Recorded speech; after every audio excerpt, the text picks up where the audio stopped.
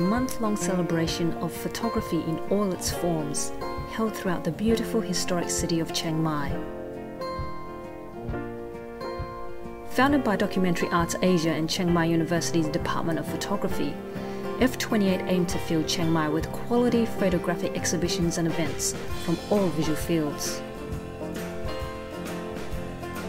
Many activities were free to the public, including workshops, film screenings, and exhibitions. Rather than be an industry only event, F28 was all about inclusion.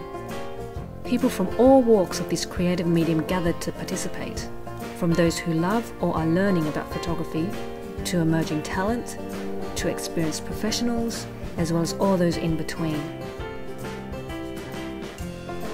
Occupying innovative spaces in addition to established ones, F28 allowed photographers to collaborate with venues throughout Chiang Mai to hold exhibitions, effectively making the entire city a gallery of photographic work, a visual feast for both residents and visitors alike.